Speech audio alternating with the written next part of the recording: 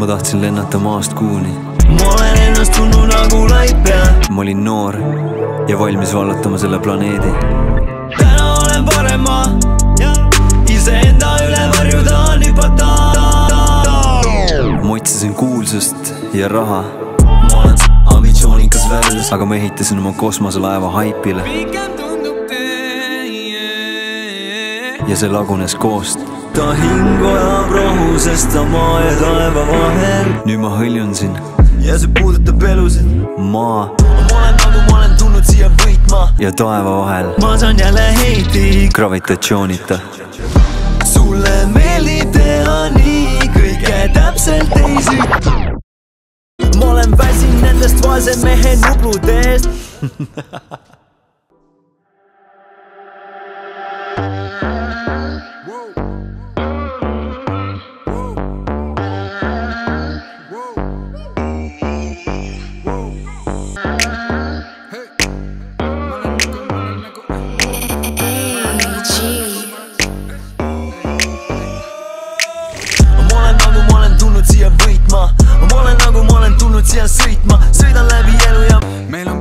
siinpool, kõik hüppavad üles nagu ping-ping-ping-ping-pong, hea tuju meil kõigil siin on, kui su unistus ei ole veel täitunud triima. ma olen nagu ma olen tulnud siia võitma, ma olen nagu ma olen tulnud siia sõitma, sõidan läbi elu ja ma kordagi ei lõika. Mu homid selja taga ja sa tead, et nad on kõik ja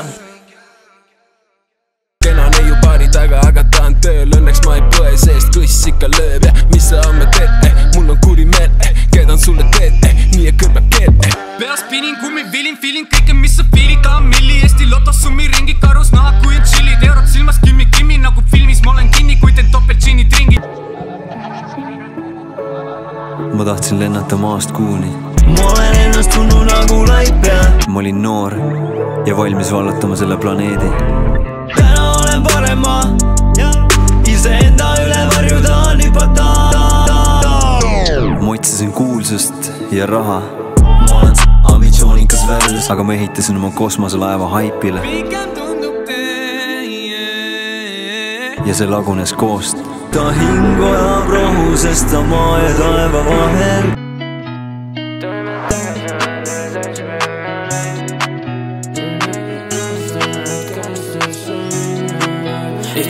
tere, head vaatajad. mina olen Maakuu ja mul on ülimalt hea meel olla jälle tagasi siin äh, James Tape'i ekraanil koos teiega. ja tänases saates on mul hea meel teie ette kutsuda Jamesi kõige värskem artist, kelleks on Judo Boys. kuule, tore sind näha, said ka aega kaugelt Tartumaalt tulla, et äh, nähtavasti oled äh, kolinud vahepeal ära oma kodukohast. Äh, sain äh, töö endale Tartus, tegelen autode pesemisega, sotsiaalmeediaga, tegelen seal, Washlab. oota, kumb siis? ongi, ma tegelen autopesuga, olen abis seal vahepeal, siis kui abi on vaja, näiteks äh, Richard on ära, siis äh, ma aitan Cooperit. ja muidu tegelen seal so- sotsiaalmeediaga. minu vastutuse all on siis kõik Instagrami postitused, kõik see sotsiaalmeedia. tulevikus on ka broneerimine, kõik see minu peal. Muud midagi, nüüd ah, Sportlandi läksin ka tööle, sest et äh, pakuti tööd seal mulle, ütlesin davai et teen ära, lebo, tundub lahe ja ma ei tea, Tartu tundus kuidagi selline, sain lihtsalt linnaelust veits eemale nagu, et äh, saaks natuke nagu nii-öelda omaette elada ja värki. jah, aga mussi tegemist jätkad veel? muidugi. seda on hea kuulda. Mis äh, sotsiaalmeediat puudutab, siis äh, kas sellega oled va- varasemalt kuidagi kokku puutunud, õppinud seda või, või kuidas selleni jõudsid? kogu see sotsiaalmeedia ongi nagu, tuli sellest, et neli aastat tagasi mul, või tähendab viis aastat tagasi fun story oli sellega, et kunagi mu vi, viis aastat tagasi oli mu Instagrami nimi Fanta poiss. siis mulle meeldis Fantat juua okay. ja siis äh, muutus judo poisi peale, kuna ma käisin judos äh,. muutus selle peale judo poiss ja siis mul pakuti Sportlandis koostööd, et äh, reklaamis olla. siis ma sain sealt suht palju nagu jälgijaid äh, nagu juurde, mis boost'is nii-öelda mu lihtsalt jälgijaskonda siis ma olen lihtsalt ise seda push inud, vaadanud, mis inimestele meeldib, jagan oma lihtsalt nii-öelda. kuna ma hakkasin muusikat ka tegema, siis nagu näitasin inimestele seda artisti elu ja värki. ja, ja, ja lihtsalt olen ise kõrvalt õppinud seda kuidagi suurtematelt inimestelt nagu, kes teevad näiteks Euronixile ja sellistele Sony Baltic Musicule teevad näiteks äh, inimesed, nende pealt olen õppinud, kuidas see nagu promomine asi käib. no seda on näha tegelikult su enda sotsiaalmeediakanalites ka, et äh, jagad, jagad biiti ja, ja kanalid endal ka tegelikult suhteliselt hästi huugavad. huugavad jah. sellise noore artisti kohta. oota, aga kui vana sa oled siis lõpuks, said nüüd suvel kuusteist või? kaheksateist. aa, okei, sorry mees. vana hea nali, mis siin läbi teeb, aga okei okay,, tee maha rahu. kaheksateist, täiskasvanud mees ja võid nüüd öö läbi õues olla, kuidas tunne on? tunne on reaalselt super. ei, tegelikult äh, see on jälle nagu suht palju ikka noorena vaata ootad, kui sa kaheksateist saad mm., et äh, sul mingi nagu sa vabaned nagu, nagu mingid kohustused on ikkagi, aga sa saad endale, näiteks saad klubides käia äh,. ei pea enam mingit fake dokumente kasutama, mis noored kasutavad, mina ei ole teinud seda, ma luban, aga lihtsalt äh, see nagu rohkem vabadust tekib sulle täiskasvanuna natukene, aga samas tuleb ka hästi palju samm- peale. et see nagu oma elu ja kõik see. Okei okay,, aga tegelikult eh, on mul õige info, et sa said ju eh, klubidesse juba varem sisse seoses su tööga, et sa ju yeah, käisid seal yeah. filmimas ja värki. võib-olla räägid sellest lähemalt, et eh, praegu ka vist käid päris tihti tegemas mingeid videoid. ma olin seitseteist pool, seitseteist, kui DJ, ei, tähendab Mark Aara kirjutas mulle, et kas ma viin klubisse, et noh, ta esines klubis, et äh, kutsus mind filmima, kuna ma vahepeal ise olin pakkunud kas, et jõu, kas ma võin üritustele kaasa tulla, filmida sind. et äkki saad tema neist materjali ja täitsa tasuta käisingi lihtsalt, et saada kogemust ka juurde. ja siis esimene kord läksin mm,, filmisin ära, mingi olin pool tundi, tund aega klubis olnud, käisin korra backstage'is, kuna mul oli asjad backstage'is nagu kaameravõrstus. ja siis tuli Andy Kane, kes on ka üks Eesti DJ ja Hollywoodi üks omanikest. tuli minu juurde, ütles, kuule, samal päeval ikka toimus pinnakas üritus, siis poiss, tee meile after movie, ma ütlesin davai. tegin after movie, see oli mu esimene connection Andy Kane'iga, saatsin talle video ära ja Mark Aarele ka circa kaks-kolm nädalat hiljem seda pärast üritust. siis Andy kirjutas, et davai, kuule, kas sa meiega Lätti ei taha tulla või? ja siis nii-öelda sellest ajast, nüüd ma olen selline alla aasta natuke olnud Andy nagu personal filmer, ehk siis ma olengi, kui tal üritus on, siis äh, ma käin teda filmimas, pilte tegemas nii Lätis ja nüüd käisime just Hollywoodis ka viimati. sa teed siis talle mingeid kujundusi või mingeid äh, visuaale ka või? Äh, visuaali poole ma ei tee, aga ma kindlasti tahaks teha neid visuaale ka temale, et see oleks ka suht unistus, aga tegin talle näiteks äh, Polsiga oli tal koostöö ja ta palus, et davai, et tal on stuudio broneeritud äh,, mingi fotostuudio, et oleks vaja inimest lihtsalt, kes pilti teeks, ma tegin talle Polsi reklaamipildid, mis olid Tallinnas ka üleval vahepeal.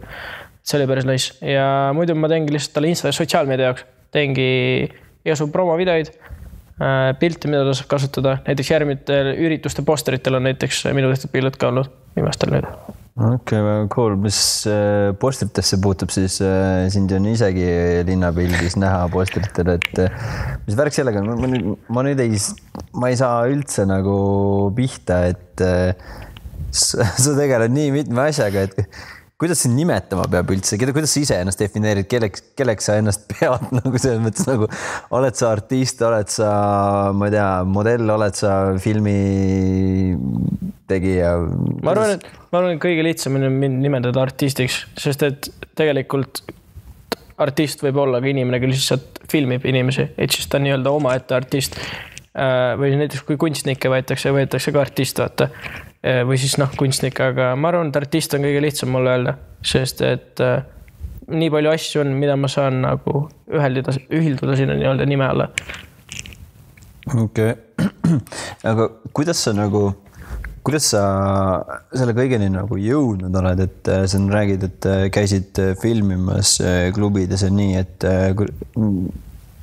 missugune su sellised esimesed kokkupuuted ongi su enda muusikaga või kuidas see filmimine on just sinu ellu tulnud? see, see huvi tekkis mul foto ja videograafia vastu circa, kui ma olin viie-kuueaastane äkki äh,. mul meeldis hästi palju nagu papsi Teloga teha metsas pilte. kuna see kõik loodus hakkas mind nagu kuidagi huvitama, mõtlesin, et et no siis ma vaatasin mingit telekast mingeid pilte, mõtlesin, et tahaks ka kunagi nagu fotograafiks ja videograafiks, tahaks sellega tegeleda, kuna see pakkus huvi mulle. circa kaksteist olin, sain oma esimese kaamera ja läksin kohe metsa nagu pilte tegema, sest et loodus on hästi palju mind huvitanud. ja siis ma tegin loodusest pilte. sealt kandus see asi edasi niimoodi, see motivatsioon tekkis mul niimoodi, et äh, oli käimas äh, Eesti loodusfotode auhinna mingi gala, selline asi, konkurss. tuli saata oma kolm pilti siis mõtlesin, et aa, et ma saadan sinna, et äkki, äkki proovin, et mis juhtub. ja sain esimese koha sealt. ja see andis kuidagi mulle selle motivatsiooni edasi, ma tahaks nagu edasi tegeleda sellega. Ja nüüd siis viimased neli aastat, viis aastat äh, olen siis nii-öelda arendanud iseennast ja teinud seda asja nagu hingega, et selle asjaga nagu kaugele jõuda. ja lihtsalt videograafia tuli mul selle poolelt, et kuna ma hakkasin ka noh ise muusikat tegema, aga pigem, pigem mul meeldis nagu kohe alguses videote tegemine, sest mulle fil- äh,, meeldis noorena hästi palju filme vaadata. Siis ma tahaks, mõtlesin, et tahaks täpselt olla see inimene, kes filmib neid äh,, näiteks neid filme, videosi, kõike seda. ja siis mul tuli see võimalus, et äh, sellesama kaameraga, mis ma sain sünnaks, jõuludeks äh,, ma sain ka filmida, siis ma panin, lihtsalt hakkasin proovima ja arendasin kogu aeg iseennast edasi lihtsalt mööda Youtube'i videoid käisin koolis olid ka mingid üritused, mille kaudu sain õppida ja siis BFM-i kaudu ka veits sain lisakoolituse värki. ja sealt see huvi tekkis. Päris äge, tuleks tagasi selle ikkagi selle laia ampluaa juurde, et äh, sa ju lisaks sellele, et sa figureerid postritel, teed äh, videoid äh, laulad, räpid, sa miksid, sa salvestad, masterdad, sa oled ju ekstreemsportlane, sa tegeled tõukerattaspordiga, eks, on õigesti yeah. õige nimi või ja siis no judopoiss, sul peab olema ka mingisugune seos judoga, et äh, ma ei tea, alustame siis sealt otsast äkki, et kuidas siis nagu mis, mis seos, mis, mis, mis seo, seos sellel äh, nimel siis on judoga või, või mis? judo, judopoiss oligi nii, et äh, ma olin circa kolmene, kui mind pandi esimest korda judosse. kuna ma olin alati kodus selline nii-öelda veits energilisem tüüp ja ei püsinud paigal. Tahtsin kogu aeg midagi teha, sest et äh, ma mäletan seda, mu ema ütles mulle kunagi seda, et ma olin inimene, kes nagu laps, et äh, kui ma, ma ei õppinud kõndima, ma õppisin kohe jooksma. ehk siis sealt kuidagi tuli see energilisus ja siis mind arvati, et judo on vist kõige parem spordiala, et see on hästi palju aktiivset maadlust ja jooksmist ja kõike seda. pandi sinna ja siis ma olen nüüd viisteist aastat olen teinud seda asja, ehk siis tipptasemel Eestis. Välismaal käinud võistlemas ja, ja siis mõtlesin lihtsalt, et nagu enne ma mainisin, et panin judopassi enda nii-öelda selleks judo nagu sotsiaalmeedia nimeks. noh, sealt see nii-öelda nimi tuli ja, ja see aga judo ma lõpetasin nüüd, võib öelda kaks kuud, kolm kuud tagasi ära, kuna mul lihtsalt kadus see huvi sinna spordiala vastu, et kui ma lihtsalt, ma olen seda nii kaua teinud, ma mõtlesin, ma tahaks midagi uut, et ma ei jõua seda lihtsalt, seda tippspordi nagu karjääri lihtsalt edasi minna enam. ehk siis äh, said esimest korda lihtsalt tappa korralikult. jah tegelikult äh, käisid välismaal võistlustel ja nii, ma saan aru, et olid siis ikkagist äh, heal tasemel selles. ja ma olin neli aastat, ei, neljakordne Eesti teine olen Äh, Soome meister, äh, Eesti meister, ei ole Eesti meister, vaid Tartu meister, äh, Saaremaa meister, igasugu meistritiitleid on veel ja kuulusin ka enda klubi koondisesse ja pürgisin veel Eesti koondises, olin ka Euroopakat olen ka käinud päris, päris korralikud saavutused, oled sa meie teise produtsendi VK-ga ka, produtsent, räppar, ma ei tea, kuidas teda nimetan, teise homie VK-ga oled ka ringi sattunud? Ei ole, äh, kuna judos on äh, erinev kaalukategooria, vanusekategooria siis äh, Veku oli minust vanem. aga esimest korda, kui ma nägin seda nime Kalev Villemas, mõtlesin, mida kurat, ülituttav nimi on. siis ma kiiresti guugeldasin, tegin research'i ja vaatasin, et circa mingi kaks tuhat neliteist midagi sellist, poiss on nagu Euroopakatel käinud ja reaalselt tipus olnud kunagi et aga jah, kindlasti ma tahaks Vekoga mingi aeg ma maadelda, see oleks päris pull, ma arvan, mingi change'i content'i tuleks küll sealt nagu see oleks päris lahe. okei, okei, et siis äh, vaatad teda nii-öelda austusega yeah., ei tahaks öelda alt üles, aga ikkagi noh äh,, sõbra mõttes, et äh, respekt. jah, sest et äh, tema nii-öelda siis, kui kaks tuhat neliteist olin mina circa, ma ei tea, mingi ma ei olnud, ma olin võib-olla kollane veeveeks, mitte kõige kõrgem, sest ma praegult lõpetasin judo pruuniveega, aga ma tean, et Kalevil oli vist must või kui ma ei eksi. ehk siis ta oli nagu suht tipus ja poiss oli ennem mind käinud Euroopakatel, mis on juba nagu su suurem saavutus. ja ta ei läinud minu arust, ta oli isegi ei kaotanud esimeses ringis, vaid pääses päris palju edasi, aga siiski medalile ei tulnud. aga lihtsalt see opportunity, et ta saab, sai juba Euroopakatele minna nagu mm., see igaüks ei saa vist. Ma tean, kui nüüd Kalevist hakkad rääkima, ma tean seda, et äh, tema on olnud ka treener, kas ka sinul on au olnud anda mingisuguseid tunde või yeah. treeninguid? ja äh, pruunvööd judos tähendab tegelikult abitreenerit äh,, aga Eestis peab tegelikult olema sul abitreeneri paberid ehk siis tavalise treeneri kolmanda kategooria paberid, siis ongi abitreener. aga Tony judokoolis, kus ma just lõpetasin mm,. Tegime suusõnalise kokkuleppe lihtsalt juhatajaga, et äh, saan anda väikestele trenne, et kuna ma olen nii kaua seda teinud, anti mulle see usaldus et ma saan lihtsalt nagu endast väiksematele anda enda nippe ja arendada ja praegult hetkel ka treenin äh, Germo Taru, kes on äh, Cooperi siis äh, vend, kes äh, on ka minu, minu silmis next up äh, maailmameister. Ehk siis palus mind enda treeneriks. see on äh, Tartu judoklubisse ja, ja selles mõttes seal ma teda aitan ja treenin praegult, läheb meil äkki mingi neljas, viies nädal juba koos, et äh, palus lihtsalt abi mult, et äh, kuna ma olen veits nagu tema silmis kogenum ja saavutustega, et ta tahtis, et ta tahab ka kuhugi kunagi jõuda kõrgele, et siis ta palus mind appi sinna. No see on, see on päris äge. okei okay,, võib-olla ajan asja siin kohati selle ampluaaga segaseks, et äh, seda asja võib-olla natuke lahti rulluda kuulajale, vaatajale, siis äkki võtame sellise nagu timeline'i ja alustame, alustame kuskilt otsast. et mis sa siis, ma saan aru, kõige esimesena sa alustasid judoga, kõige esimene oli judo jah. Siis vahepeal tuli fotograafia ja videograafia. ja, ja siis circa viieselt hakkasin tõukeratast sõitma. viieselt hakkasid tõukeratast sõitma. okei okay., nojah, siis ma ei saa sult küsida, et äh, mis seos siin omavahel on, see nii väike poiss ja sulle lihtsalt meeldis ilmselt. aga seal sa ka tegid ikka mehe tegusid, ma olen kuulnud, et äh, tõukerattaga ja hetkel sõidan ka. see nagu huvi ei ole ära kadunud, pigem nagu Eesti miinus ongi lihtsalt see, et välipa- nagu siseparke, kus talve ajal sõita on väga vähe, ainult kolm-neli tükki. näiteks kui ma elangi Tartus, siis äh, kõige lähem oleks mul minna kuskile äh, just äh, Raplasse tulla jälle või siis Kohilasse, kus on sisekad, aga see, need sisekad ei ole nii suured, et ma saaks sõita, nii et siis mul talvehooaeg ongi nii-öelda pausihooaeg ja siis suvel lasen uue hooga edasi, aga jah yeah., nagu huvitav on vaadata seda ja kuulata, et äh, kõike, mida sa oled teinud, on nagu, need on palju ja need on erinevad asjad, et nad ikkagist sa oled kõiges pühendunud ja sa teed ikkagist äh, südamega ja, ja tulemustega, et nii-öelda kvaliteetset tööd. et äh, näha, et see ei ole lihtsalt see, et jooksed ühest trennist teise, vaid, vaid äh, oled nagu võtnud äh, asja nagu täie tõsisusega ette. nüüd jõuamegi selleni, et äh, miks, miks sa täna saatesse oled kutsunud, kutsutud, sest et äh, sa oled ka artist, nagu sa mainisid, sa oled räppar või laulja või. no okei okay,, jätame siis, nimetame artistiks Yeah. et kuidas selleni jõudsid ja, ja, ja kuidas see on seotud võib-olla nende teiste hobidega, kui üldse on? mm,.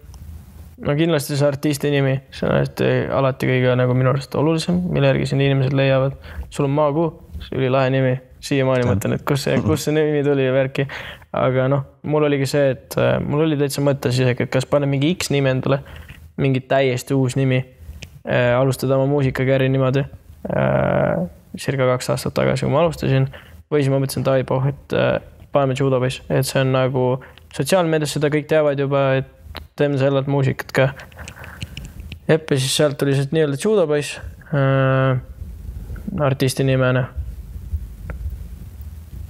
ma ei teagi, mis veel, kaks aastat oled ainult tegelenud kaks aastat, ja sul on poolemiljoni laul, poole miljoni laul. liblikad. liblikad on jah, praegult on isegi, palju meil mingi kuussada tuhat on koos juba erinevatel platvormidel peal. Liblikal oligi siis see esimene track ka, mis ma tegin, see sündis suht niimoodi, et see on su Kunagi- esimene track üldse, jah, sest okei. Ära rohkem tee siis.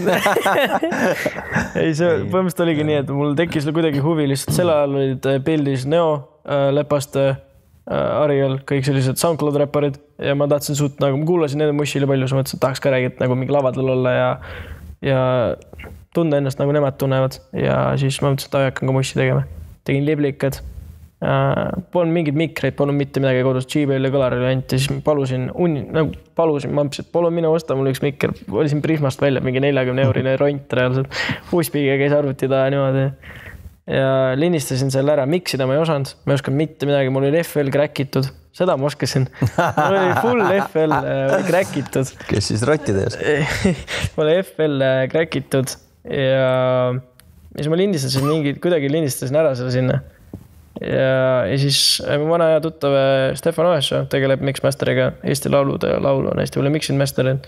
küsin ta käest, jõu, et äh, saaks miksima, saaks nagu laulutule lindistama, tegi mulle SA sessiooni tasuta ja tegin liblikad.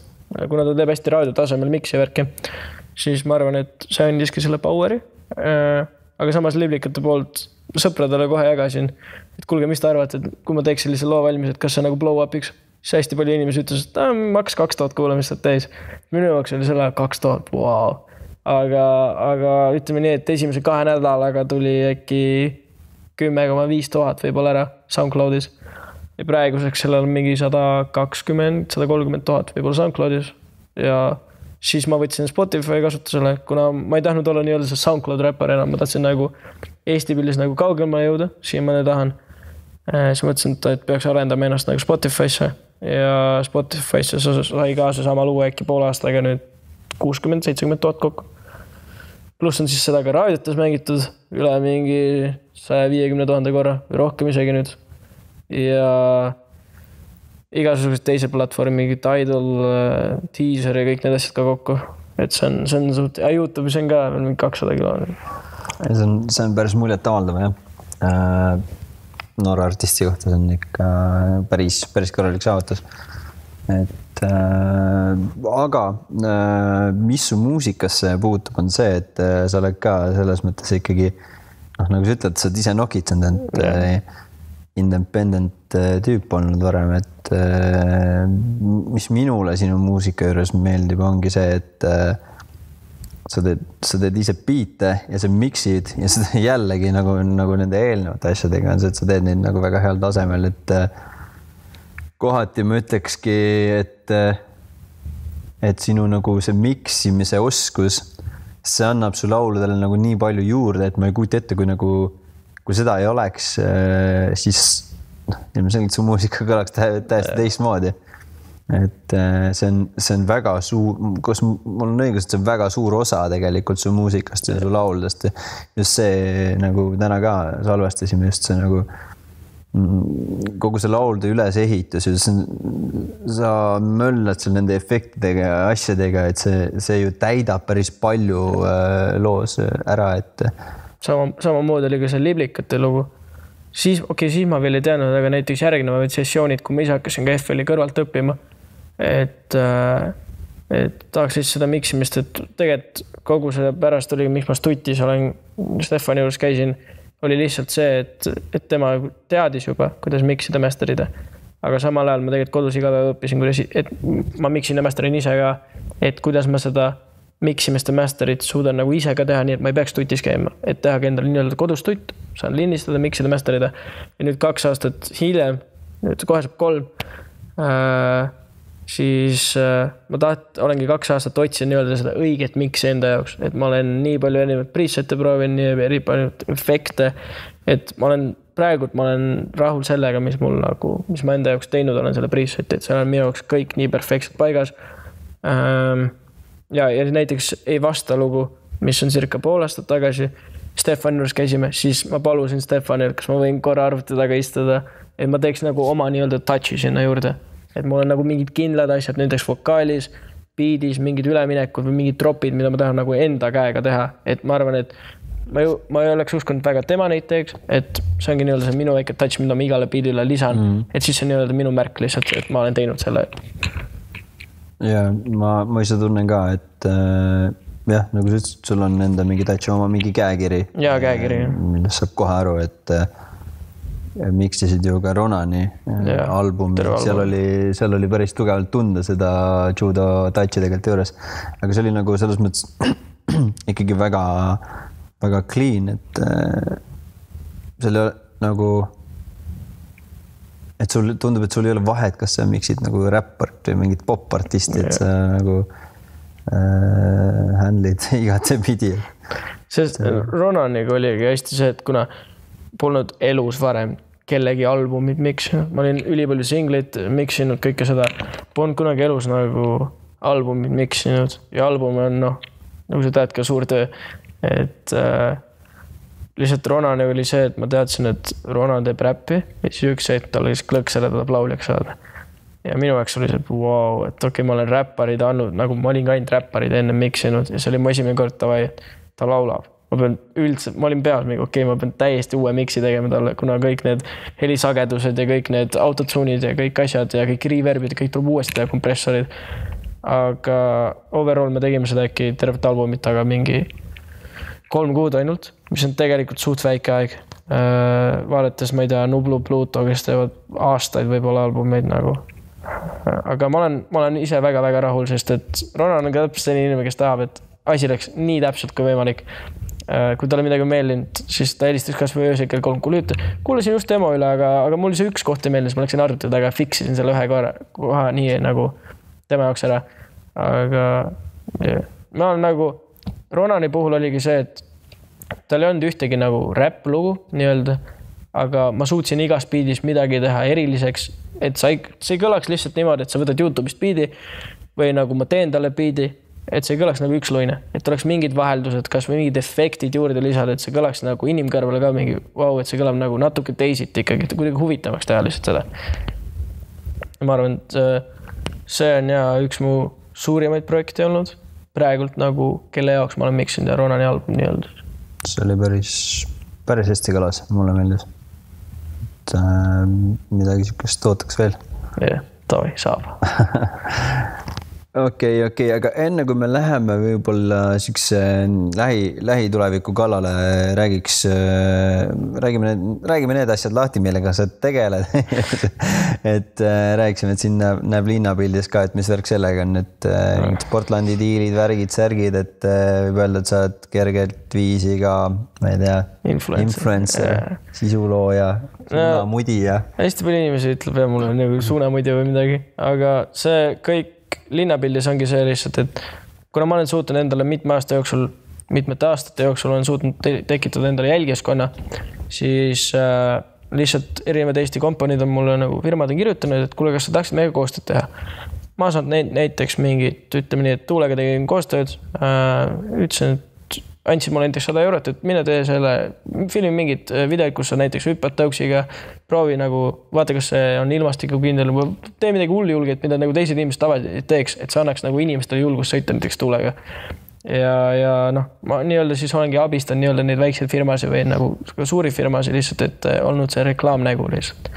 Sportlandiga on mul jooksmas kolmas aasta koostöö, ehk siis nad aitavad mind ka see aasta, ei eelmine aasta jah, eelmine aasta Võsu rannafesti jaoks panid äh, Reach'is ja Naughty neile, et jõu, kuulge, mul oleks fit'i vaja äh,, et Võsu lavale lähen, et kas te tahate aidata mind? Ja andsid mulle krediiti, ütlesid, vali endale meeleväärsed riided välja, mine rocki nagu, et selles mõttes, et hästi palju nagu nii-öelda sportlased on ainuke hetkel firma, mis on minuga teinud koostöö, mis kehtib nagu pikemalt kui näiteks kuu või kaks, et nad on nagu kolmas aasta juba jookseb, mille üle mul on väga-väga hea meel, sest et äh, alati, kui mul mingi esinemine on suurem, siis äh, see ongi neile, et ma teen neile story sid näiteks, kui ma olen kohapeal seal esinemas eh,. ma saan promoda neid, inimesed näevad mind fresh riietes välja ka, et nagu fresh kick'id või nad vaatavad, oo tahaks ka.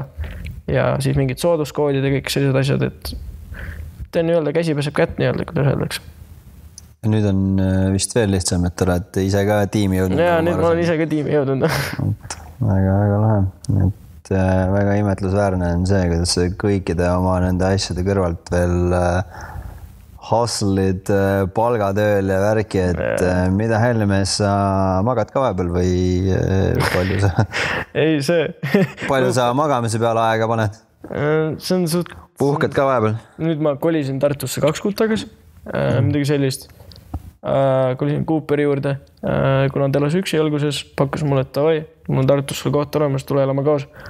et nüüd mul on oma korterikaaslane, ma saan öelda ja, ja ütleme nii, et Cooper on terved nii-öelda kaks kuud elanud minuga, ta iga päev põhimõtteliselt tuleb, ütleb mulle, tead kui crazy on artistiga koos elada, sest iga päev mul on niimoodi, et ma ütlen talle näiteks, kuule, ma sain uue pakkumise sinna, siis Cooper ütleb, ta lihtsalt davai, väga nice, sest et tema jaoks on nagu see nii-öelda nii uus maailm minuga koos elada, sest et äh, mu elu käib nagu, okei okay,, meil on mingid ühised tegevused, näiteks Wash Lab, mida me teeme koos, aga on nii palju teisi asju milles äh, ma saan kaasata nagu Cooperit näiteks autojuhina, turvamehena klubides.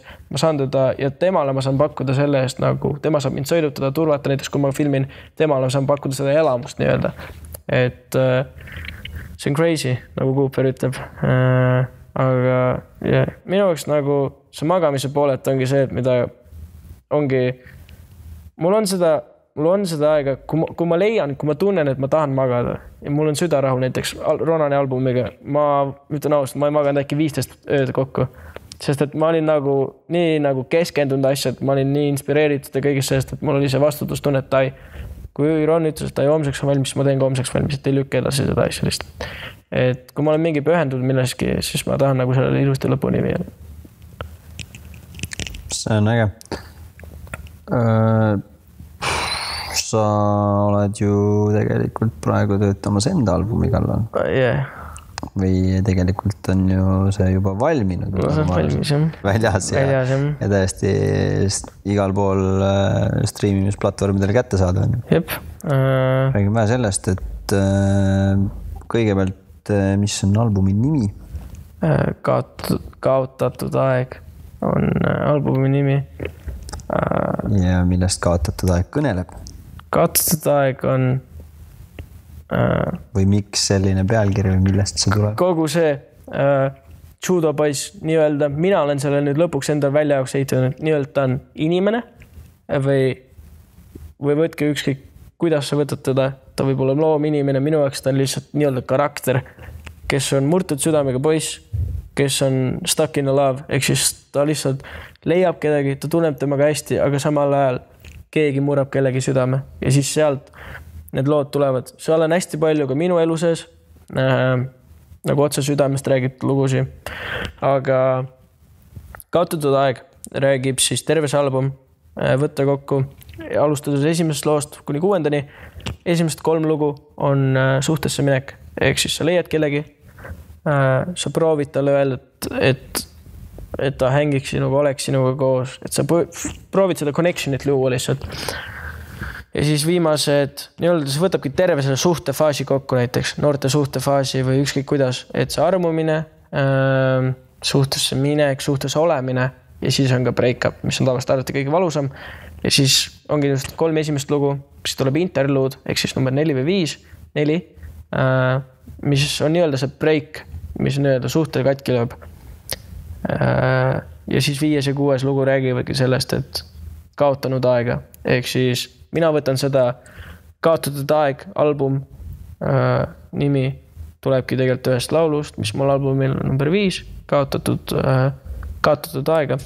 ehk siis selle loo mõte oligi lihtsalt see, et äh, et ma tunnen, et lihtsalt näiteks need kolm-neli kuud, mis ma olen temaga olnud, on nüüd nagu prügikasti visatud, et ma oleks võinud kolme kuu ja kolme-nelja kuuga teha midagi muud, kui lihtsalt oma aega raisata sinu peale või olla koos sinuga. et alguses see tundub kõik nii roosiline ja õnneline, aga lihtsalt see lõpp on alati see kõige valusam, mis jääb ka alati meelde pikaks ajaks.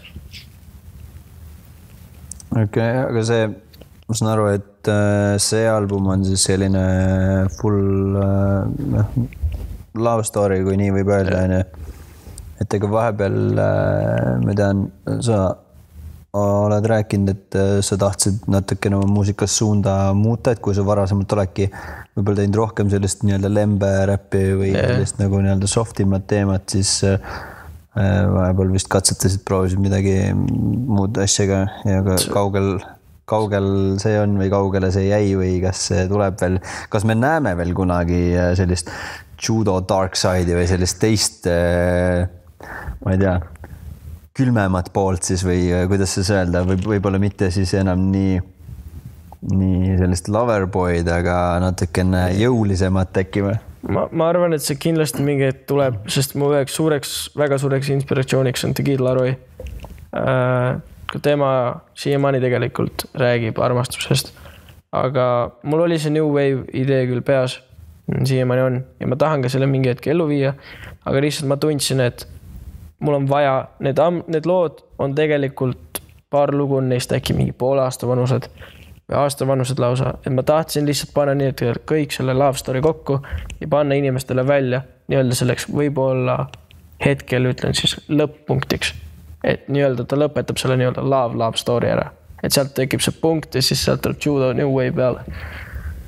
jah, see on hea point, aga enne seda on ju vaja veel üks projekt välja lasta mis on tegelikult samamoodi ju mm, üdini armastust täis Yeah. Sa ja, ja samamoodi pigem sellist ongi Kid Laroilikku siukest äh, fuck love stiilis Yeah. äh, kraami.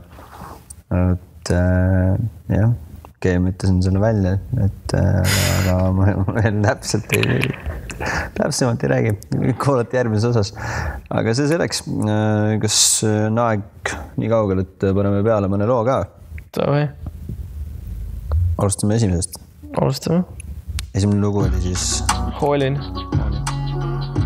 nii-öelda see ongi see algus, suhte algus.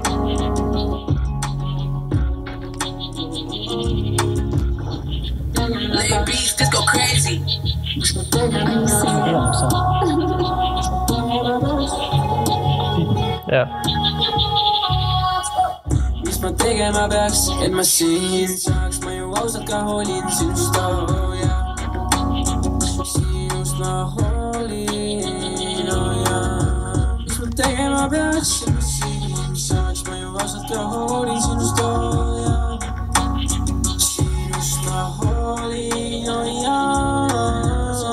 Verre, kuigi mõtted on sinust veel, ootan vastust ikka ma ju veel ikka ma ootan ju veel.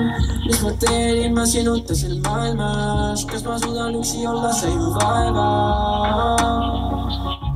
ma ei saa nii lihtsalt ju, mis ma tegema peaks, et ma siin saaks, ma ju ausalt ka hoolin sinust, oh jah. sinust ma oh jah mis ma tegema peaks, et ma siin saaks, ma ju ausalt ka hoolin sinust, oo jaa. sinust ma hoolin, oo jaa. see räägib nüüd siis äh, suhte algusest või eh, suhte eelsest faasist. see on selle suhte alguse eelfaas ehk siis kus äh, nii-öelda nii-öelda armumine kõik see. tüdrukut endale alles saada. jah, et see, see, see laul räägibki lihtsalt sellest, et nagu verssi sõnad on süda liigub verd, kuigi mõtted on sinust veel.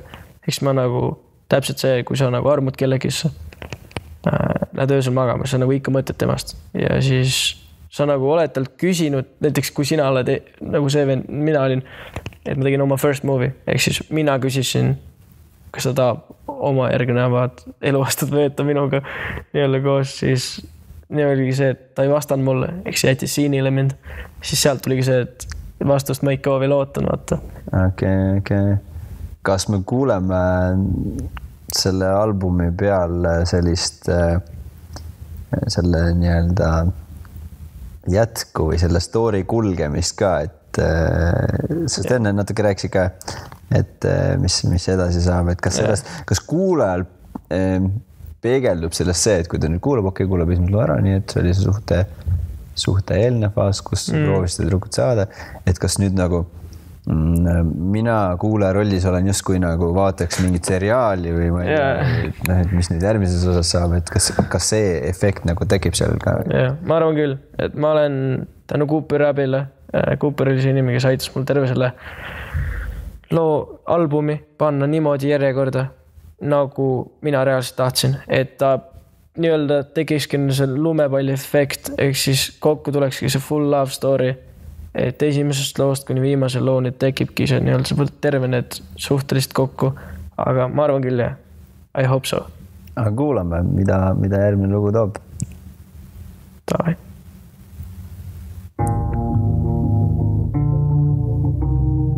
Loo pealkirja ka. kadunud sa, see on väljas juba. see oli nüüd see esimene lugu, mis tuli.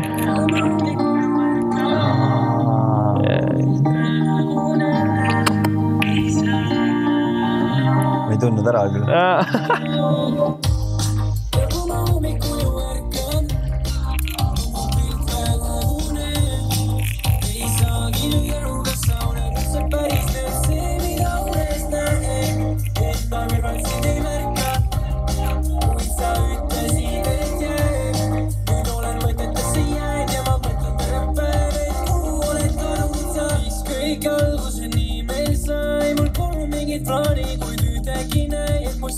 nii püüdsid, sõbrannadele ütlesid, et siia sa jääd ja sa lahkusid ajal. jook joogi järele, su samm mulle lähenes, kui oleks seda teadnud, et sa mulle ju nii lähened, siis poleks seda asja kõike nii raskeks saanud, kuid ise paremini tead, mis sulle on ju parem jäänud. sinust lahti veel ei saa.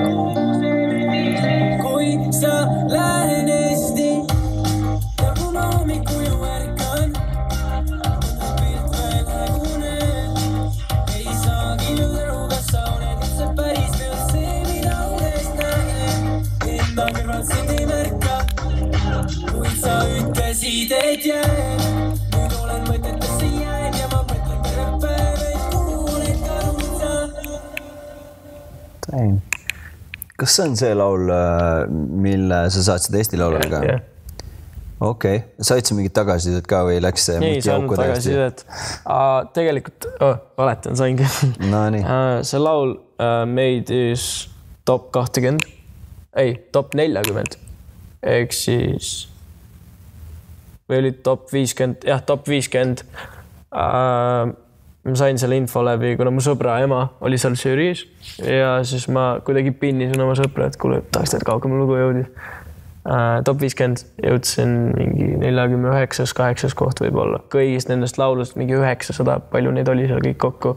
et uh, minu jaoks see on suht haige tegelikult, et uh, aga hästi sarnane lugu uh,, mis meelis Eesti Laulul on see cover valikuid.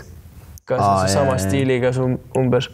aga jah, see on see laul Kadunud sa oli mul ideega niimoodi, et ma panin selle detsembrikuus välja, nüüd meil on juba jaanuar ehk siis album on väljas äh,. oligi plaan nii, et ma panen Kadunud sa, jätan circa kuu aega vahet ja panen albumi välja, et nii-öelda inimesed mõtlevad, okei okay,, järgmine singel, et ta ei pane niikuinii järgmised mingi kolm kuud midagi niisama välja. aga see oligi nii-öelda väike intro nii-öelda, mis on tulemas suurele albumile. et äh, yeah., see on päris sketši lugu. Ja see räägib nüüd äh, jällegi äh, siis sellest ajast, kus ikkagi väike selline hide and seek käis onju. mis oligi see, et mul oli nii lihtne endal kasutada seda klubi, vaata, me rääkisime klubist mm., et mul oli nii lihtne kasutada seda, et, et kui ma hommikul ärkan, et see on täpselt see, vaat kui sa leiad kellegi võib-olla, siis lähed koju, vaata hommikul ärkad ta ei olegi su kõrval, et sa lihtsalt, võib-olla sa lihtsalt nii nagu purjus olnud ja hommikul on pohmakas ja ei saagi aru. see oligi see, et pilt on hägune ja kõik see, et see oligi selline, see ongi see lugu, mis nii-öelda räägib sellest, kui sa nagu esimest korda näed teda ja, ja esimene connection nii-öelda. ma oleks, mu järgmine küsimus olekski olnud, et kui palju selles loos oli sellist äh, Otti äh,, kuivõrd palju selles oli judopoissi kui karakterit. seal on, seal on suht palju judopoissi ikka. okei, see oligi lihtsalt nii, et ma olen näinud teda nii-öelda sellest inimesest, kellest kogu see album räägib, ma olen teda näinud klubis ja äh, aga lihtsalt, et lisada sinna öelda seda vürtsi juurde nagu öeldakse mm., et siis ma mõtlesin, et ta meeldib judopoiss nagu, et ta, et, et ta ei oleks nagu full minu story äh,. Et mi, ma tahan igasse loosse panna vähemalt tükike päris enda elu, aga tuua selle inimesteni ikkagi nii-öelda judopoiss karakteri alt. aga kui palju sult on küsitud sellist asja varem, et Oi, äh, ma tean ise ka artistina, et äh, see on kindlasti selle kohta ja see on äh, tema kohta või minu kohta, mis iganes.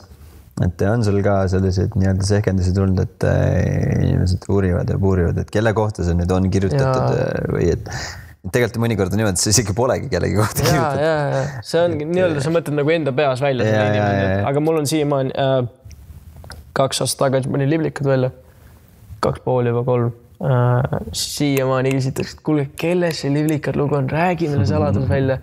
aga ei, see on samamoodi nagu Pluto kunagi tegi mõtetes loo, mis on nüüd miljoneid vist kuulamise saanud lausa ja kõik küsivad, kõik pinnivad, kõik üritavad teada saada, kes see tüdruk on, kellest ta räägib seal, aga Pluto on öelnud, ta ei ütle, et see ongi üldse see saladus, see mysterious see inimene. Ja see on väike salapära sihuke selle. mis asja, minu arust see teeb asju huvitavamaks just. ja just see, et eh, nagu sa ütlesid ka, et eh, alati on natuke iseennast ja Jah. natuke on karakterit. Ja just sinna vahele jääbki see salapära, et eh, kuulajale, et, et kus maalt see piir jookseb. Jaa, et mis on siis eh, nii-öelda äh, juurde kirjutatud ja mis on nagu siis päris ilusti võetud, et see on äge. aga mis ongi nii, et ma olen kõik lood ehitanud niimoodi ülesse äh,.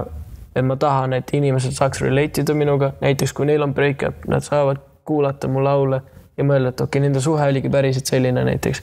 või et nad saaksid kuidagi panna ennast minu olukorda selles samas laulus, et nagu lauldes neid sõnu kaasa, nii et nad tunnevad, et näiteks nad on selles olukorras või on olnud selles olukorras.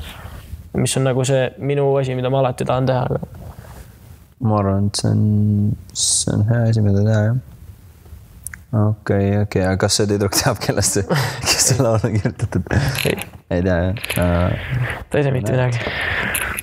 nii et tüdruk number seitse, viis, kuus, kaheksa, otsi Jude üles.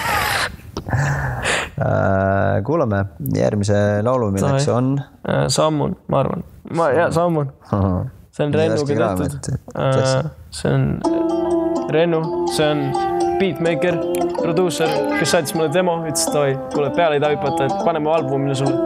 siis ma olin davai, et see on ideaalne lugu, see on see nii-öelda happy place, kui sa oled suhtes temaga juba.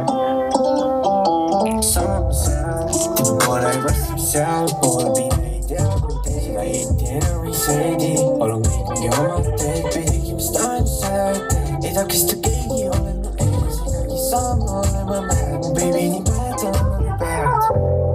sa tead, people on liiga päevipäevad, kui sinuga pole koos, sa ikkagi teed sa nagu, et oled korras. Need tunded kaovad lihtsalt ikka ei suuda ma olla sinuta. tegime liiga palju tööd, aga sinuga olema aus. üheksas miinimumi töötama, aga ikka ei saa ju rahu. kõnnime iga päev, teemasid palju, alla ei anna ja tahan ma sadama, kuigi see raske, tean ma seda, aga sa ei ei tea ju midagi minust.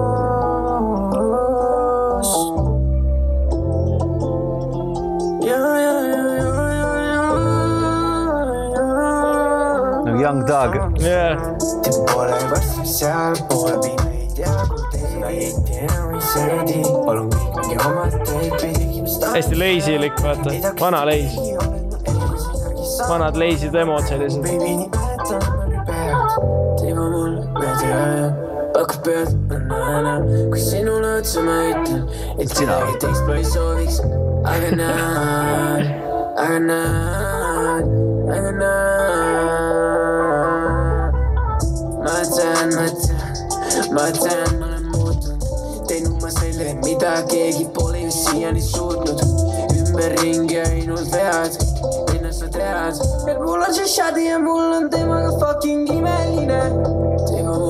Teema mul meeldib aja, pakub pead, na-na-na, kui sinule otsa ma ütlen, et kedagi teist ma ei sooviks, aga näed, aga näed, aga näed. sama ma seal, tipu poole varsti me sealpool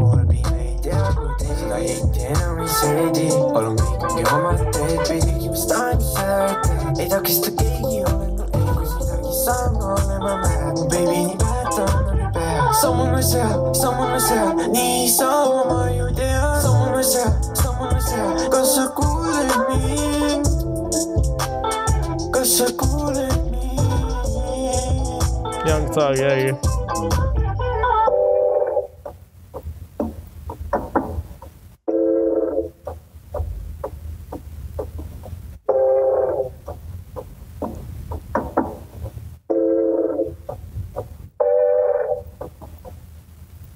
väga huvitav outro, väga äge. kas selle tegi beatmaker või sa ise? Äh, Rennuga koos valisime see Eido Eight, minu arust see on nii, nii hea. see bass seal taga on reaalselt nii hea, kuna see ei ole seesama pattern, ehk siis see ei ole seesama Eido Eight kogu aeg, vaid vahepeal läheb üles-alla. me oleme teinud äh, rehvides need erinevad. mulle meeldib see Eido Eight, aga mul see, see laul ongi hästi huvitav, et kui sõnu väga sõnadesse keskenduda, räägib see üldse millestki nagu natuke võib-olla teema kõrvaselt, teema kõrval selle asjast aga seal on hästi palju see, et kuna ma valisin selle loo albumi sellepärast, et ta on nagu happylik, rohkem selline rõõmsam selline veits haipim. et kui sa oled ka suhtes, vaata, et tunned ennast veits toredamini temaga ja kõik see fine on, vaata. ja, ja mulle meeldib eriti mu lain seal, et ma olen teinud selle, mida pole keegi teine suutnud. ehk siis see ongi sellest, et äh, ma ei ole ühtegi Eesti artisti näinud, kes on kahe aastaga suutnud teha endale nii suure nagu fanbase'i ja baasi endale lihtsalt üles ehitada mis on minu jaoks nagu see lain, mis ma tahtsin nii-öelda punch ida sinna siis. sa ei olegi ju siis tegelikult ju oma muusiku teekonnal üldse kordagi sahtlis olnud, sa sa kohe tulid välja ja hakkasid tegutsema. Yeah. jalaga uks lahti ja nüüd sihuke asi käib. see on äge. Väga-väga tihti ei, ei kohta sellist asja, et paljud teevad äh, ikkagi tükk aega sahtlisse. no muidugi tegelikult äh, nüüd on äh, SoundCloudi SoundCloud. Generatsioon on peal ja seal vist ei ole, seal enam ei häbeneta nii palju, seal Ei. pannakse ju suht kõike ülesse. no aga mis, mis sa, mis sa enne ütlesid, oli ka see outro. outro on meelega tehtud nii, et oleks veits pikem ja seal nii-öelda on kujutatud seda efekti, et kell tiksub nagu kell jääb seisma, mis on siis järgmise loo number nelja, et, et sinuta elada ei suuda interluudi nii-öelda siis intro. see oli päris äge, seda oli nagu huvitav kuulata ka albumi kontekstis just, et ja, ja see ongi nagu ma aru saan, sinu stiil, et sa nagu mängid hästi palju laulu ülesehituse Jah. see on, see on äge. esimene tüüp, kes, kes too Renno ah,. tema, see on sama beatmaker või? ja Renno on minu arust Haapsalust pärit äh, beatmaker, kes mulle ka kaks-kolm aastat kirjut-, tagasi kirjutas, et jõu, et kas ta võib olla minu tiimis. mul ei olnud ühtegi tiimi, ma olin sellest unknown vend. Liblikatel oli äkki mingi kaheksakümmend tuhat kuulamist äh,, lihtsalt reach out'is mulle, küsis, kas mul on mingid äh,, kas ma oskan teda kuidagi aidata nagu, et kas ta tahaks ka FL-i, saatsin talle lingid tahtsin mingeid kõlareid, siis ma veits oskasin mix ida, ma soovitasin neid samasid kõlareid talle, mis mul kodus on. Ja sellest ajast ta on kaks aastat järjest push inud iseennast ja tal on omad trumm-kit'id väljas, tal on, okei, seda ma ei või öelda, ma hakkasin peaaegu ühe saladuse välja ütlema. ja tal on ka maja taga Rolls-Royce, oi, ei ta jah, ma ei tohi, ma arvan, ma ei tohi välja rääkida seda, aga hagid. ma Jää ütlen ausalt, et see vend teeb Eesti nagu tippudega küll koostööd, et ta on nii kaua lihtsalt push inud eh, just beat'i tegemisest. Et ta on, ta on just selline artist, kes nagu teeb rohkem beat'e ja kui vahepeal aega on, siis teeb ise ka mõne verssi järgi. tal päris huvitav hääl nagu mingi Jaa. Eesti Young Dog. Päris äge aga. beat on hästi selline vana leis, sellised vana leisi demod, leis siis, kui SoundCloudi ajast leis. mu küsimus on see, et kus sa, kust sa leiad neid tüüpe kogu aeg, tegelikult seal on see ringkond on päris suur, et sa tahad, teed, ma ei tea, mingi kümne erineva vennaga beat'i, et eh, kuidas sellised tutvused on tulnud, kas on mõned mingid vanad tutvused või lihtsalt nende ürituste kaudu või kuidas see network imine tänapäeval eh, siis ütleme, sellises skeenes käib, et ütleme, kui keegi praegu, kes meid vaatab, kuulab, tahab alustada kuskilt, et äh, ikka on vaja ju nii-öelda jalgu ukse vahel saada mm., et äh, inimestega suhelda, nii et, et äh, mis, mis see, mis, mis see hea nipp on või, või kuidas sina oled suutnud endale sellise võrgustiku luua, nagu sul praegu tegelikult on? kui sul on nagu sõpru näiteks, kes tegelevad ka muusikaga ja juba on midagi üles laadinud, siis saada neile, küsi nende käest, kuidas on. Või küsi täiesti lihtsalt suvalist inimest, kes kuulavad lihtsalt muusikat, küsi äh, sõprade käest, kuidas on, kas see, kas nende, kas nemad kuulaksid seda ja kas neile meeldiks see, sest et see on väga hea, kui palju inimesi tegelikult ütleb sulle, et ei, see on pask, ära pane seda ülesse, sest minu arust mina võtan seda kui näiteks enda fuel'ina et kui keegi ongi olemas heiterid näiteks või on lihtsalt inimesed, kes ei tahagi kuulata seda, siis ma panen ikka selle ülesse, kuna neile ei või see meeldida, aga ma tegin seda asja südamest, nii et ma tahan, et see oleks väljas. aga kuidas kõige lihtsamini nii-öelda jalg ukse vahele saada, ongi kirjuta nagu artistidele, kes sulle nagu päriselt meeldib, näiteks ma kirjutasin Plutole. et kuule, kuidas mu demo on, see on nagu nii väike protsent tegelikult, kas nad vastavad või ei vasta, sest nad on oma pisi oma tegemistega, nad on label'i all, neil on hästi palju tegemist. aga mul joppas sellega, et Plutsi reaalselt kuulas demo, ütles, et see on fire, mis andis mulle, ma olin nii cast, et ma olin nagu jess, et keegi suur ütleb sulle, selle motivatsioon. ja ma tuletan kogu aeg seda endale meelde, et äh, näiteks ka praegu, kui mul on näiteks motivatsioonilangused, asjad, siis muusikaga, siis ma alati mõtlen, et aga miks ma üldse alustasin. et kui ma ei oleks alustanud, ei oleks ma siin.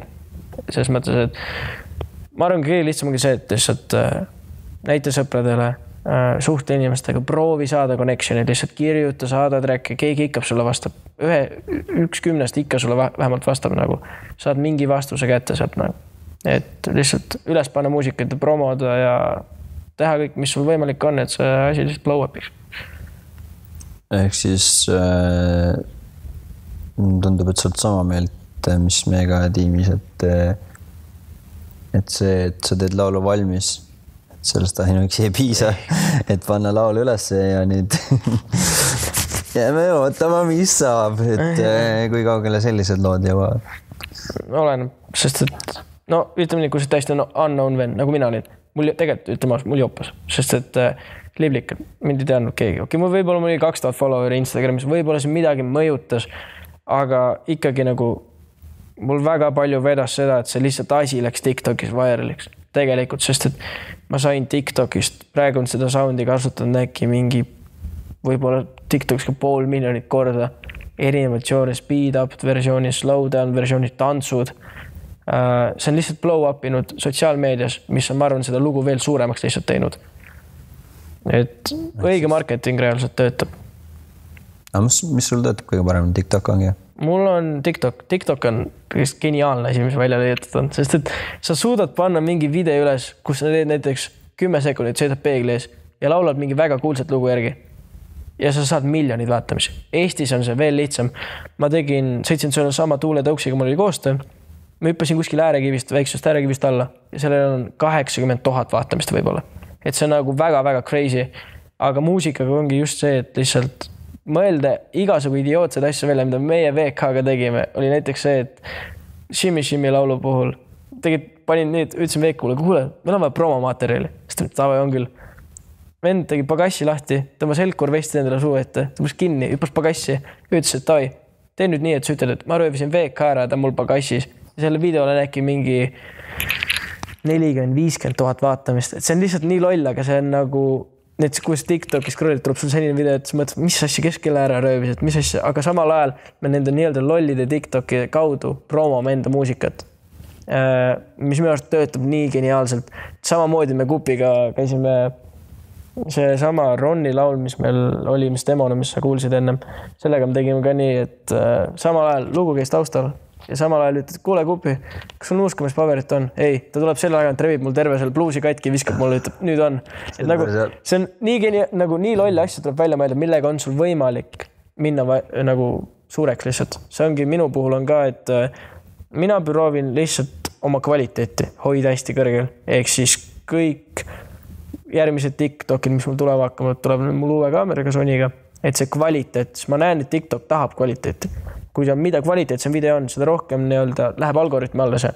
aga töötavad ka sellised nii-öelda Android klotsiga tehtud sellised kümme korda Messengerist läbi edasi-tagasi saadetud selline halva kvaliteediga video, mis suudab blow up ida, ma ei tea, kuidas, aga minu puhul töötabki see, et go crazy, lihtsalt mõtle idiootseid asju välja, pane oma laul taustaks sinna ja see on seal taustal, inimesed klikivad sound'i peale, see juba läheb suureks, nagu inimesed kasutavad ise ka seda sound'i, et see on nagu või siis teed igasugu TikTok trende, et kuule, proovi seda tantsu koos minuga näiteks või midagi sellist, siis inimesed proovivad, aga samal ajal see laul kaldub kogu aeg edasi.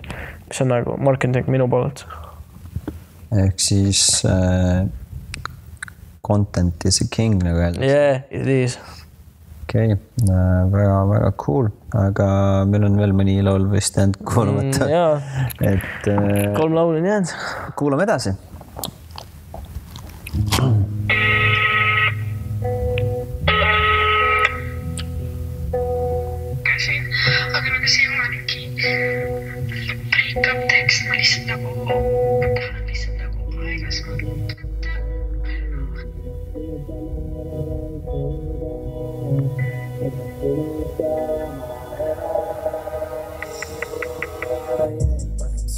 no quiero hablar por los maneras. Siéntame la la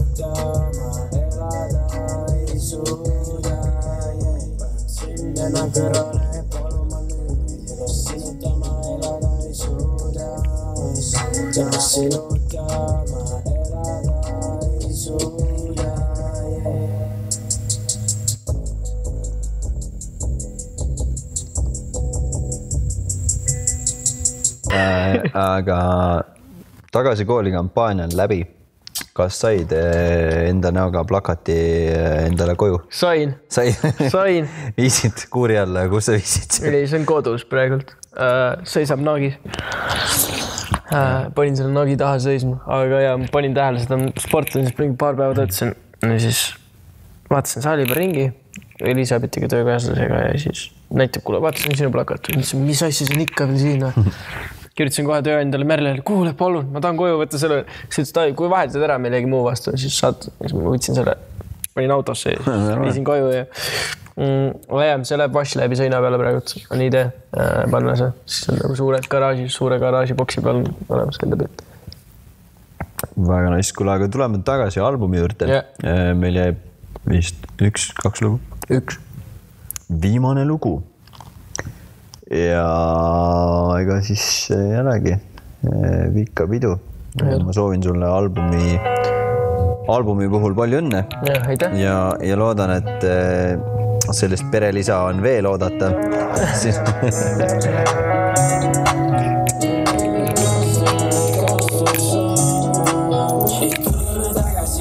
teisi pilluga meid. Ja nägin sul näost ära, et kadestad sa mind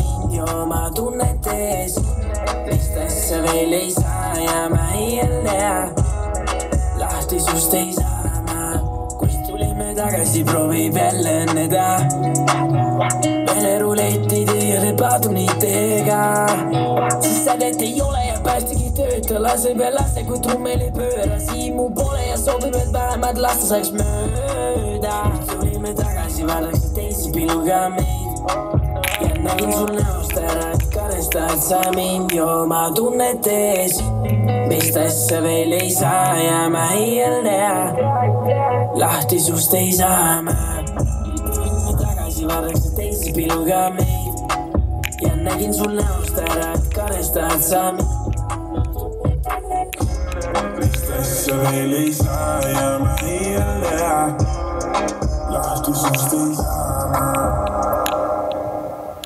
Vau, see, mida jälle, ma olen seda enne ka mõelnud, pole vist kunagi välja öelnud, nüüd on see aeg äh,. Amazing, kuidas sa oma häält oskad kasutada, nagu sul on nii palju värve äh, hääles, sul mingi, tahad teed falsetti, tahad lihtsalt madal, kõrge, kärin, mingi sihukene asi. Kust see tuleb äh,? mitu päeva festarit selja taga oli enne sellist lindistamist, kus hääl oli nagu nagu ära joodud? seesama lugu on tehtud selle ei eelmise aasta sees jah, eelmise aasta sees äh, samas stuudios, Susi Anderga, kus me praegu oleme, sama laua taga, jah, kus Eugen istub praegu okei, äh,. Veikuga olime, siis ma ütlesin Veikule, kuule, tahaks albumit teha, tahaks lugu. siis ta leidsime biidi. Ja esimese versi sõnad, kui tulime tagasi, proovime jälle õnneda. see on Veeka kirjutatud sõnad, et see on hästi temalik, et mingi padrunid ja selline kiires äh, flow switch ja see kõik on tema, aga ma tegin seda veits endanäolisemaks, siis ma muutsin oma häält seal. Ja ref mulle räigelt meeldib, et oma tunnete ees, et see on, see on nii hea, et minu arust ongi see, et nüüd see on albumi viimane lugu, ehk siis me alustasime sellest, et sinust ma hoolin ja siis nüüd oleme lõpetanud sellest, et meist asja veel ei saa ja ma ei olnud hea, aga nagu võib-olla see ongi sellega kirjutatud see lugu, et võib-olla kunagi, äkki kunagi näkkab veel. mul jääb kohe selline mulje nagu, et äh, tahaks veel, jah, see ongi nagu mysterious värk. et äh, jah, tahaks teada, mis edasi saab Jah., tahaks justkui nagu mitte ma ei, ma ei soovi sedasama albumit äh, nii-öelda mingi full albumit mingi viieteist looga, vaid just mõtlengi seda, et sellel võiks tulla mingi osa kaks või mingi teine Jah. osa, järgmine osa. et äh, lihtsalt väike mõte sulle, kuidas see mul nagu kuulajale mm, kõlab, et päris põnev.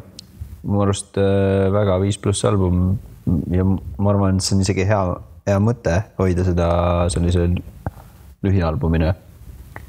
Kuna seal on hästi, hästi selline noh, ongi teemakeskne, ma ei kujuta ette, kui sa peaksid selle venitama mingisuguseks viieteist loo Mm, albumiks, läheb natukene võib-olla ongi siukseks, lähebki venitamiseks või siukseks mm. nagu ma ei tea, pressimiseks Jah., et see ei ole võib-olla enam nii, nii natural. aga väga-väga äge album ja hea, hea on kuulda just erinevaid äh,, erinevaid selliseid lahendusi äh, nii hääles, beatides, ma ei tea, miks siis kõik on nagu, ongi huvitav oli kuulata, et ei ole, et kuigi nagu teema, teema on üks, sest ta ei ole üksluine, jah, et äh, ma arvan, super töö, võid, võid endale õlale patsutada ja, ja rahule jääda. et äh, ootame kindlasti juba järgmiseid selliseid äh, üllitisi. ja ma tean, et äh, see, see aeg ei ole ka enam kaugel. ei ole. Endal on ka väike elevus sellega seoses sees, et äh, põnevad ajad on ees. aga võib-olla vaatajatele, et äh, kus sind järgmisena näha võib? hea küsimus. on sul tulemas äh, lähiajal kontserte, sa enne Äh. kaadri taga midagi mainisid. no ma ei tea, kui avalik info see on ja veel äh,. Keter, semi. See- kaamera taga näidatakse, et ei ole. see on selline semi, et ma tean, ma olen listis äh,, esinejate listis, aga lõplik otsus tehakse siis varsti, mingi märtsikuus, ma arvan, midagi sellist, ma veel ei tea. aga kindlasti on mind näha Change Live Jaa, äh, järgmine aasta äh,. ma olen üks peaesinejatest seal äh,. kuna ma tulin, kui ma võitsin Change'i aasta artisti auhinna, siis ma sain sellega kaasa nii-öelda väikse paketi nii-öelda. Ehk siis ma sain Change Live'i osalemise peaesineja sellise äh, kingituse kaasa, mis on väga-väga tore, sest et ma saan lõpuks inimestele näidata ka Change'i perekonnale ja ka teile kuulajatele saan näidata, mis puust ma tehtud olen, mida ma suudan ka laivis teha, et mida ma suudan, ka häälega laivis teha. ja tuua ka lavale täiesti uusi demosid ja unexpected kolläbe näiteks, mingid sellised kolläbe, mida keegi nagu ei arvaks, et ma võib-olla suudaks teha nagu selliseid asju. see oleks mu järgmine küsimus olnud, et äh, kelle endaga lavale kaasa võtad no.? Kindlasti tuleb Maagu äh. VK äh,. hetkel on plaanis ka Sauce äh,. kuna Sauce'iga on ka midagi tulemas, natukene salasem jutt ja, ja ma ütlen ausalt, et äh, kui väga hästi läheb, siis on Eesti tipus olijaid ka võib-olla laval näha. Nonii, jääme ootama. kas plaati saab, saab kuskilt füüsilisena ka või, või Saab. mismoodi seda üldse levitama hakkad, ma saan aru, esialgu digis. algus digis äh, change.ee slash judopoiss äh, saate vaadata, kas sealt äh, ehitame lehe üles sinna lõpuks change.ee ja aheldatud, minge ostke äh,. Change Clause'i poe, jah, poest jah. ja gravitatsioonita mürtsi ka, sinu oma ja aheldatud ja loodetavasti mingi hetk kiiremas korras me jõuame ära teha albumi väikse mürtsi äh, limiteeritud kogus, ma arvan, sest see on kõige lahedam minu arust, et teha väike selline kavalus sisse, et teengi näiteks ainult mingi kakskümmend tükki ja need, kes ees, see mees, et ongi nii-öelda, panen iga pusa taha väikse kirjakese ka nagu näiteks kolm kahekümnest, et päriselt teada saada, et näiteks kui ma näen kedagi, siis ma saan vaadata, mis tal nagu, kas tal on mingi neli ka, et mis nagu ja, nagu limiteeritud kogus, et see minu arust tekitab rohkem sellist nagu et need, kes ees, see mees, see, kes tahab, see saab, et see ei ole nii, et kõik saavad nagu kogu aeg osta, et see on ka ainult mingi need aja, ajapikku. et need, kes on kiiremad, saavad endale, mis on minu arust nagu kingitus minu poolt neile, et äh, limiteeritud värk. ja plaat äh, füüsilisel kujul seda veel ei tea äh,. vaatan seda siis, kui album on äh,, kuidas albumiga läheb, ütleme nii ja siis ma vaatan seda niimoodi. aga kui keegi tahab, ütleme toetada, siis äh, kas on võimalus osta siis sinu digitaalne album, ma ei tea, kas iTunesest või näiteks Change'i jaa, Change'i poest? Change'i poest või siis äh, iTunes või Apple Music. aga jah, aga enamus asju hakkab olema nüüd äh, Change'i kaudu äh,. sest et äh, Judo Boss is the part of the Change fam now äh,. Kuulun ka siis Change meeskonda ja Change aitab ja toetab mind oma, mu tegemistel. ja Change on ka ametlik nii-öelda partner siis sellel albumil hmm., kelle alt ma selle asja välja andsin, ehk siis Change'i alt tuli album välja mis on, mille üle ma olen väga tänulik, et ma saan Change'is üldse olla, et mind on märgatud noore artistina ja mind on võetud kampa. mida ma väga-väga respektin. mul on ka hea meel ja ei oskagi nagu ei oskagi siia muud lisada, selles mõttes, et äh, olgu siinkohal öeldud, et äh, et äh, ega me, ega me ju otseselt äh, ei, ei skautinud selles mõttes, sa, sa kuidagi nagu sulandusid äh, sulandusid kohe ise tiimi ja see oli nagu sihuke naturaalne lüke, mida, mida teha, et ma arvan, et et siin ei olnudki küsimust, pigem oli nagu küsimus see, et, et ega sa kuhugi mujale label'isse ei lähe, sest jah, nagu sa ütlesid, talenti on märgatud. kuule, aga ma tänan, et sa tulid. Thanks kutsumast. teeme veel äh, koostööd, ma arvan, nii, nii mitmel rindel. ma usun, et äh, sind on näha ka mõnes äh, Change Reacti osas äh, juba tuleval aastal Yes. ja teile, kuulajatele-vaatajatele samuti suured tänud, aitäh, et olite meiega siin äh, peaaegu tund aega või, või rohkemgi, kella käel ei ole, aga, aga see polegi nii oluline. näeme teiega juba siis järgmises äh, saates. Ja judo leiate kuskohast? Instagramist, et Judoboys, follow ga Instagramis ka aheldatud, Tiktokis äh, ka aheldatud, change, mingi visake pilt peal, content'i tuleb, Tiktokis ka Judoboys, igal pool sotsiaalmeedias Judoboys ja mingi striimiga albumit ka, aga olgu, aitäh teile, nägemist. tšau